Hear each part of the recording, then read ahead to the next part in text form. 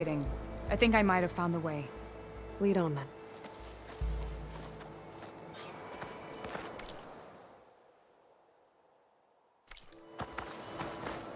Do you think Nessa might still be alive?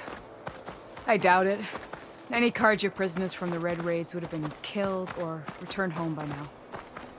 Then what's Amadis after? I think he just needs to know.